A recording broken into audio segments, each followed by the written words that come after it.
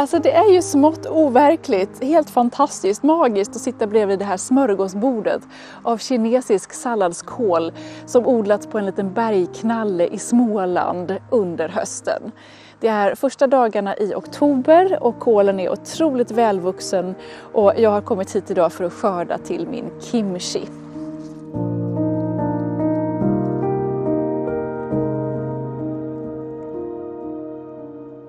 Salladskål är en sån här grönsak som kan vara lite klurig att odla.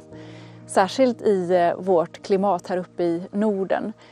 Det funkar jättefint att odla i min trädgård salladskål för en vårskörd.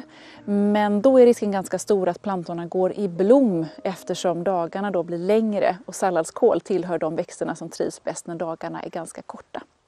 Och just den typen av dagar har vi ju nu på hösten.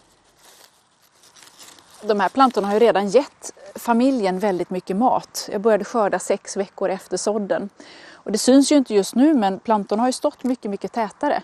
Och när jag började skörda så knipsade jag av eller vred av varannan planta i den här raden så de var väldigt små.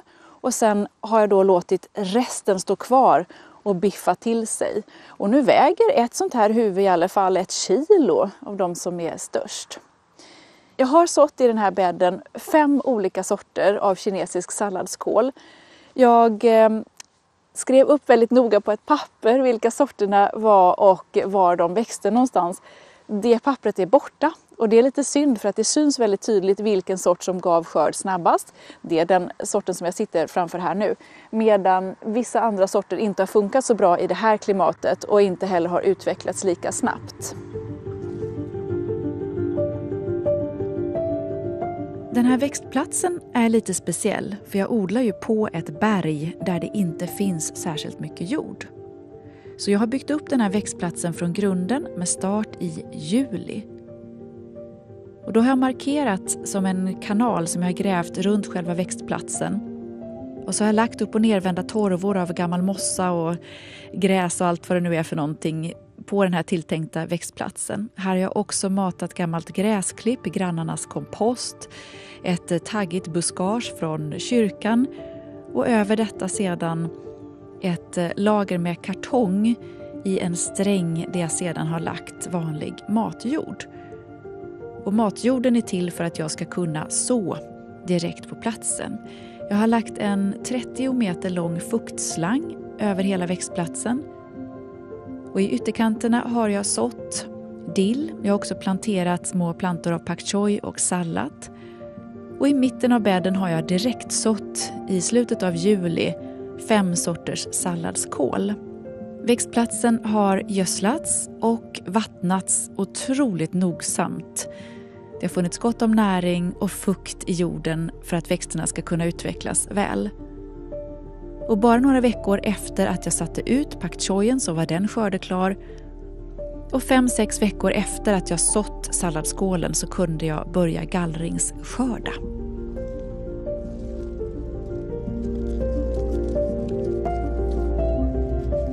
Idag ska jag då skörda salladskål. Jag ska dels skörda den röda, skarvita, till en sallad som jag ska göra till middagen och sen ska jag skörda några kålhuvuden som också ska fermenteras. Och det betyder att jag ska mjölksyra dem i en sån här variant som kallas för kimchi. Så himla gott!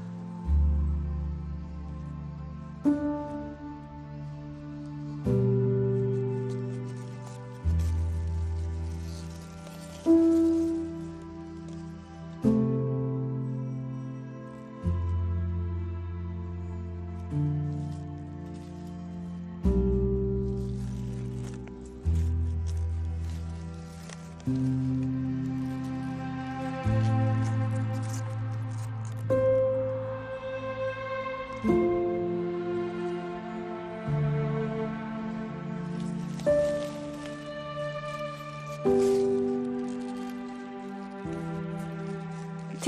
vilket litet läckert salladskålshuvud från en planta som har eh, helt skött sig själv under säsongen från ett frö som jag tappat vid sidan om odlingsplatsen. Och så har jag fått ett sånt här litet läckert huvud.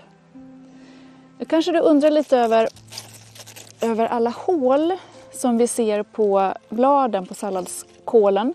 Framför allt här uppe i toppen där salladskålen är ganska liksom, tunn i bladen. Vad är då det? Det här är angrepp av tvestjärtar. 2019 har vi haft stora angrepp av tvestjärtar och jag vet flera odlarvänner som vittnar om det. Och de äter alltså på bladen. Men de här kraftigare delarna av salladskålen, där har de inte rått på, så den är jättefin. Det här är ju ett skönhetsfel, liksom när kollarver eller eh, något annat, sniglar, har ätit på plantorna. Man tvättar kålen och sen så skär man bort det man tycker ser anskrämligt ut. Men jag ska ju mjölksyra, fermentera min kål och då kommer inte det här synas. Så för min del gör det ingenting om tvestjärtarna har nallat lite grann.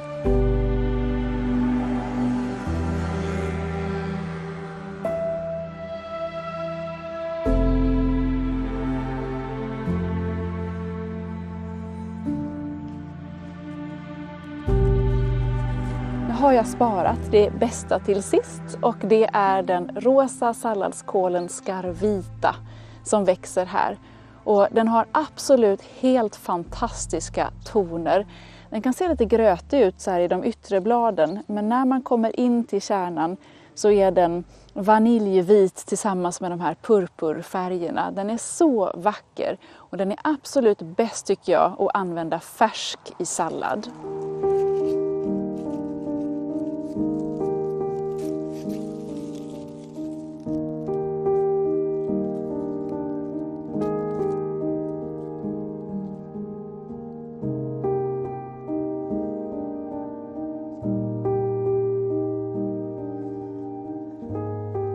Så här sitter man med fem fina huvuden av kinesisk salladskål på en stenmur i Småland och känner sån glädje och lycka över att ha odlat kål på ett berg. Tips för att lyckas med en sensommarsådd av salladskål. Så i slutet av juli alternativt i början av augusti. Odla kålen på väl gödslad plats. Det måste finnas mycket näring i jorden för kål älskar näringsrik jord. Se också till att vattna regelbundet för då utvecklas kålen fint och växer precis så fort som den ska. Nu ska vi bara käka upp det här också. Tack för att du har tittat idag.